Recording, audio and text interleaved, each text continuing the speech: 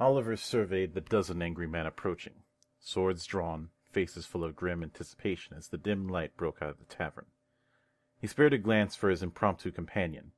The short woman was sturdily built, but she looked like she'd be more capable with a mug in her hand than a weapon. I hope you can use a sword, Oliver said, eyeing the approaching mob. Her companion gave a snort. I hope you can fight in a dress, she drawled, her accent rolling the words. Oliver glanced down at the flimsy, road-colored chemise fluttering around his calves, and swore oath to the fey spirits whose pernicious sense of humor had doubtless led him to this place. Then he jumped forward, off the table they were standing on, and brought his pommel down across one man's nose before spinning his blade to catch the strike of another. He had little attention to spare for his companion, but he had thought the loud and cheerful laugh that rang over the sound of clashing steel was hers.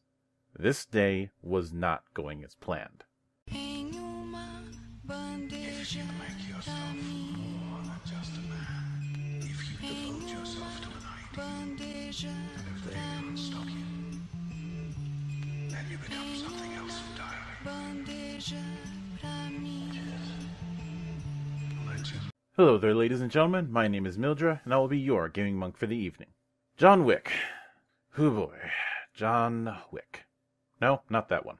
If there's any game designer I have a complicated attitude towards, it's Mr. Wick. While he's a phenomenal game designer has worked on several games I've enjoyed, he's an asshole. I know, I know, it takes one to know one.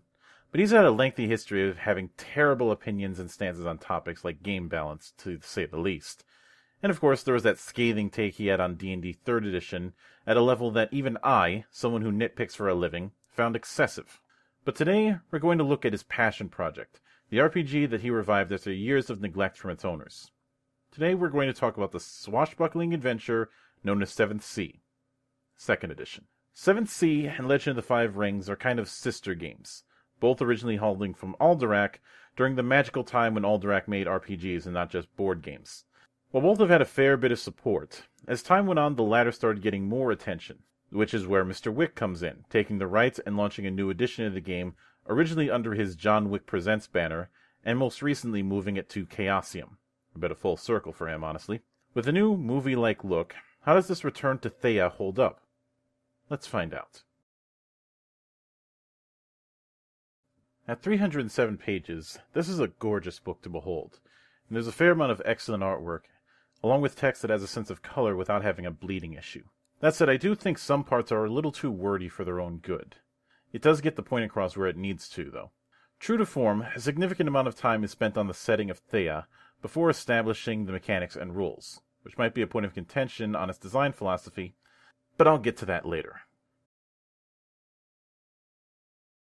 Seventh Sea is a game of swashbuckling and intrigue, and we'll be reflecting this in our creation of young duelist Luis Bastone. Our first step is the Traits and Nation bonus. Each trait starts at 2, but your choice of nation grants a plus 1 bonus to one of these two traits. In addition, we have 2 points to increase traits. Now, Luis is from Montaigne, gaining him a plus 1 to finesse. In our case, his starting traits will be Brawn 2, Finesse 3, Wits 3, Resolve 2, and Panache 3. Second, backgrounds, which represent past occupations and training. Each background grants a quirk effect, a set of advantages, and skills.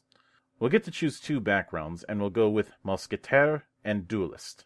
Third is skills. Beyond the starting package of skills, you have 10 skill points to spend, with no rank being above 3. After spending these points, our final spread is Aim 3, Athletics 2, Brawl 2, Empathy 2, Intimidate 2, Notice 2, Perform 1, Ride 1, Scholarship 1, Warfare 1, and Weaponry 3. Fourth is Advantages. Luis already has 3 from his choice in background, but we have 5 additional points to spend on further advantages. We'll spend 3 points on Fencer and 2 points on Porté Sorcery.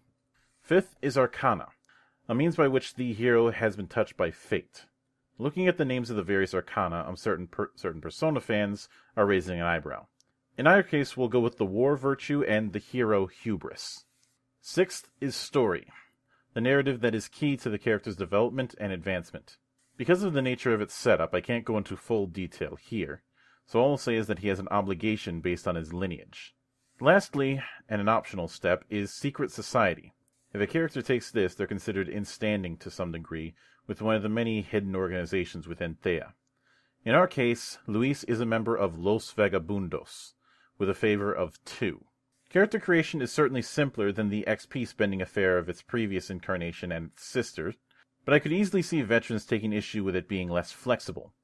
The goal mechanic is probably going to rub some people the wrong way, lacking a traditional XP system for advancing characters. I do think an alternative freeform system might have done wonders in this regard. At least min-maxing isn't an issue here. 7th Sea 2nd Edition uses the roll and keep system. Kind of. You do still roll pools of d10s generated by an attribute and a skill, but the keep part involves grouping the resulting die into sums of 10.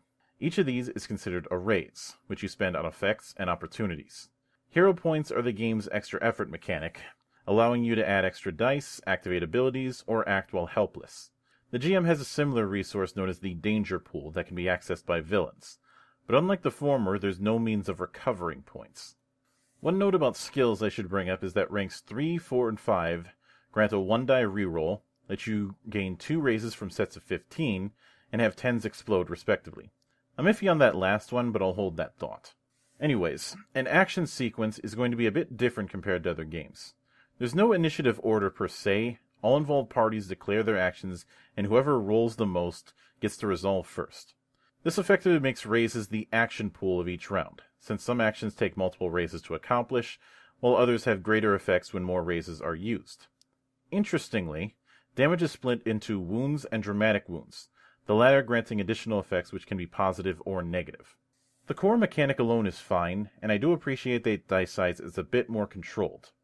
That said, the issue I have is with the ideas around it. It clearly wants to take a more narrativist spin, but that comes at a price. The more narrative centric you go, the more demanding the written examples need to be in order to establish how the mechanics are meant to work.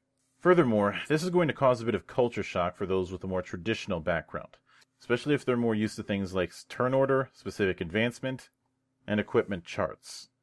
I'm well aware that John Wick has voiced his disdain for equipment charts in his Chess is Not a Role Playing Game post years ago, but I vehemently disagree with his assertions. That's not to say the mechanics are bad, just not presented as well as they should be. I've often heard the adage, the grass is greener on the other side, which I've retorted with, the grass is so green from all the radiation.